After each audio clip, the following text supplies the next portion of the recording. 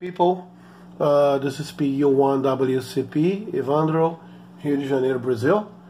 Uh, well, let me tell you about my opinion about the QYT KT8R working with the QYT 7900 Delta.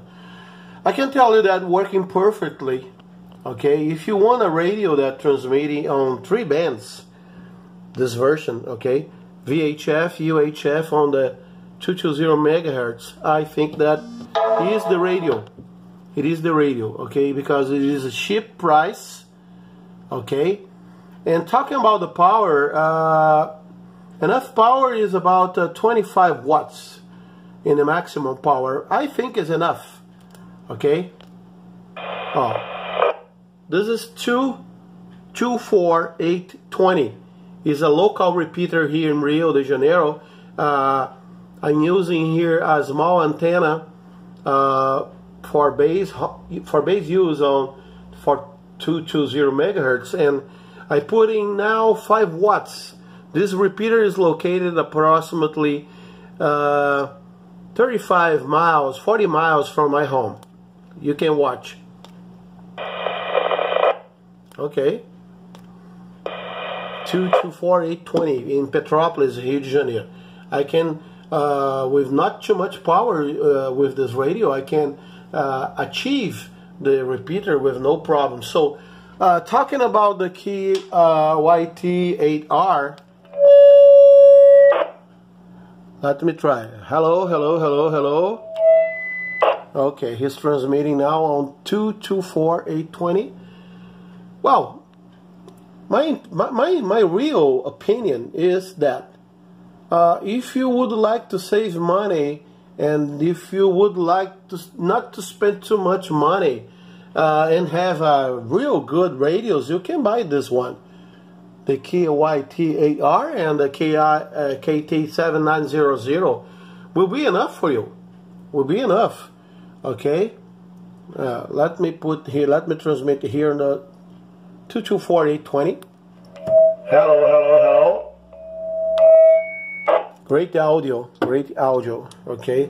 Uh, very nice constructions, very well built and oh, oh, hello, hello, okay. There's a, there's a nice, nice audio, beautiful, and they are from the family, from the same family, same family. They are cousins. I heard I heard something that from QYT that this radio here is made uh, copying this one.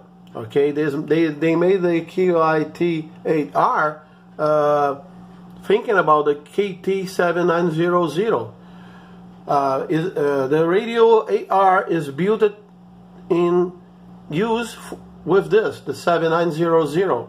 So my opinion, if you would like to buy this, the, the both radios will be enough. One thing that I want to consider is that this stock antenna, this stock antenna that come with the QYT8R, in my opinion, this antenna is for VHF and UHF working perfectly, but on the 220, uh, always is necessary to put an antenna that is well cutted for transmitting on the 220. Uh, sometimes this kind of antenna uh, for designed for transmit on four bands because this radio also transmit on 330 megahertz I think is not enough I think if you buy a dual antenna or a single antenna especially for 220 uh, will be better because this antenna is not, uh, is not working very nice on the 220 for long distance. Okay, my opinion is that because it is antenna that is is fixed fixed for four bands, and my experience uh, on the 220 megahertz is that uh, the best if you have a dual antenna, for example VHF and 220 or UHF 220 or a single antenna for uh, for 220 okay That's the only one thing that I want to concern. But this is normal, okay? But as I said before, talking about price, design, and futures, I I have no doubt, okay, that the both radios are transmitting perfectly nice, very nice construction and very good price.